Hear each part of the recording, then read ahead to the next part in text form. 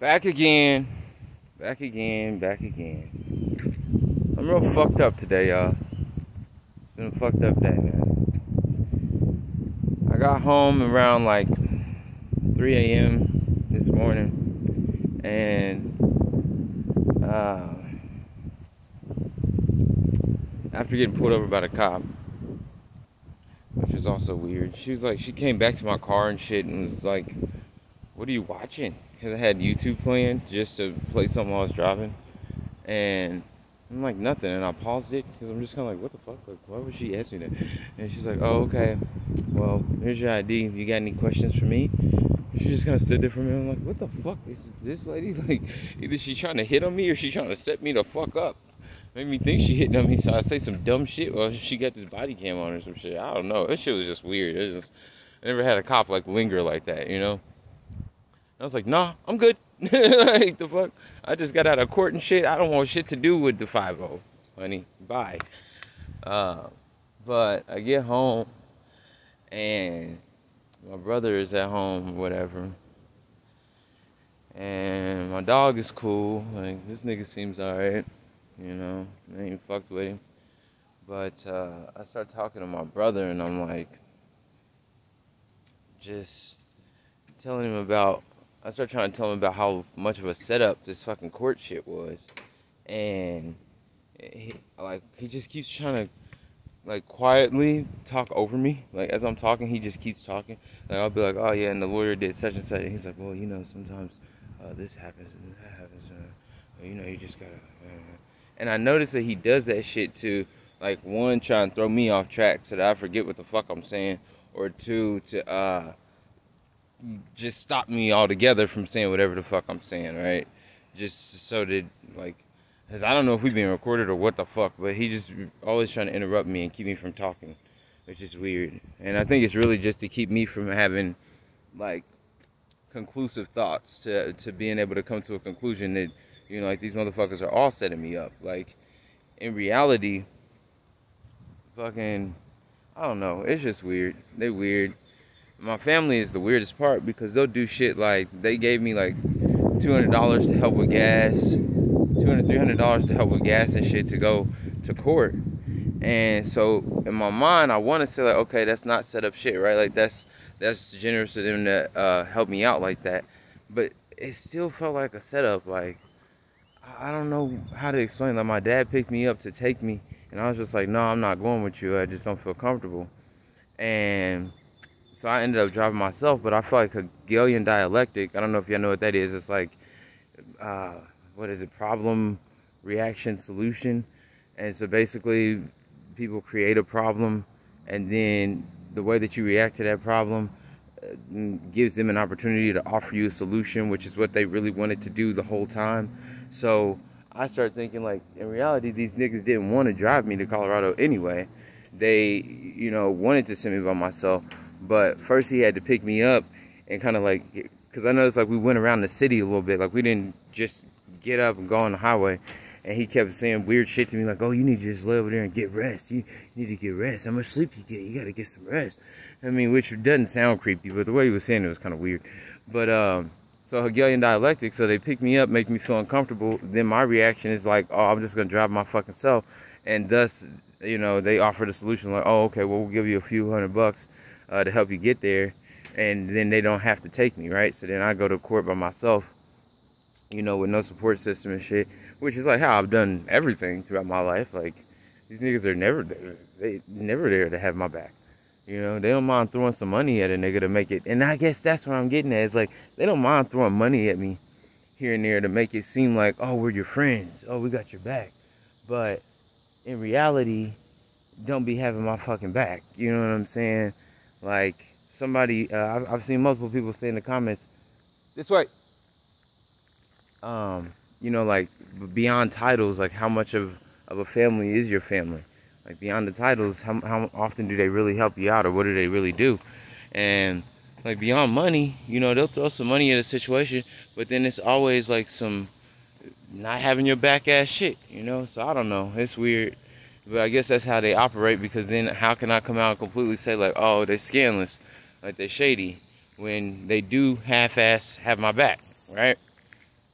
But um, one thing that's like really got me fucked up today, and I'm like feeling real fucking alienated and isolated, so I don't even have nobody to really talk to this shit about, but talk to about the shit. But uh, this fucking court shit, man. Like I really just went down here to close out this case and had to take a plea deal, and like the whole court thing seemed fake to me in the first place. Like I'm the only nigga on the docket somehow.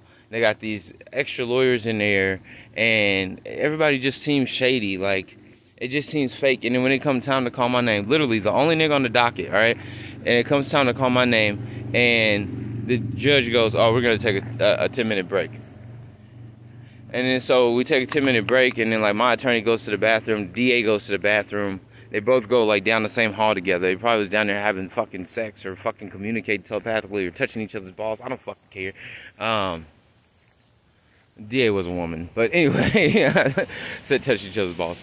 But um, and then like as I'm sitting there, my my attorney comes back, and I'm sitting there looking out the window. He starts talking to me about the mountain range, the Rockies um, that you can see from the courthouse. And then the DA's coming down the hall. My lawyer goes like, he turns around, looks at her, he's like. I'm like, what the fuck? You, you smelling her pussy juice on your fucking fingers, nigga? What the fuck is wrong with y'all? And then so we get in the court or whatever, you know, and I'll, I'll take the plea deal, and uh, I, I plead guilty to some shit that never happened, my nigga. Like, and at first it seemed cool because it's like, okay, I had to pay the lawyer another, you know, four thousand or pay another eight thousand dollars to fucking uh, get this case handled, but fucking didn't want to do that, you know. So I'm thinking, all right, I'll just take the probation and then that'll give me two years to save up money and I can get out the country, whatever. But now I just feel so fucked up because I literally had to say into a microphone, guilty, and the shit that they're trying to charge me with, or that they convicted me of, or whatever, did not even happen. Hey, let's go. It didn't even happen. You know, like like one of these ladies is saying that when I tried to leave the hospital, that I grabbed her um, from behind and like I literally have video evidence that I gave to the court and everything that shows her grabbing me. She grabbed me. Here, bud. Come on. Come here. Let's go. Come on.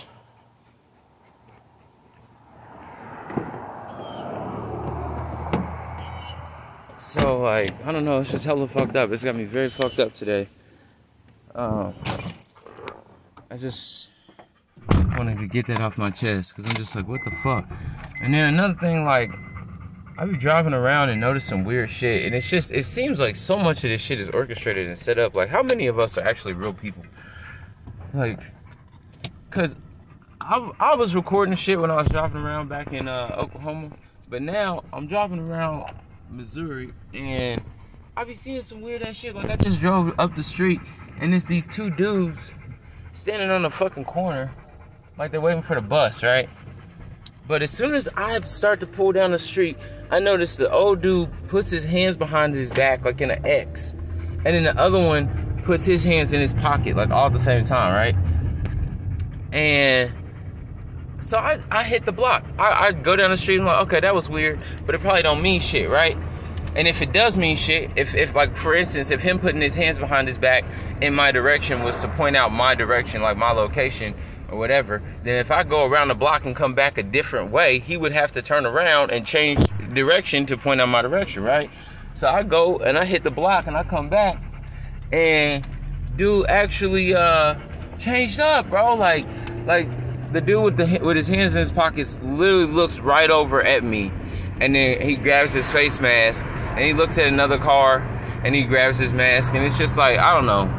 It's probably all in my head. But it just, to me, seemed very orchestrated. It seemed like they were trying to set up street theater. So, you know, and these niggas are just the markers. Like, they just notify, they send the triggers or like the the notice, the, the sign to other people to start doing whatever the fuck they're supposed to do.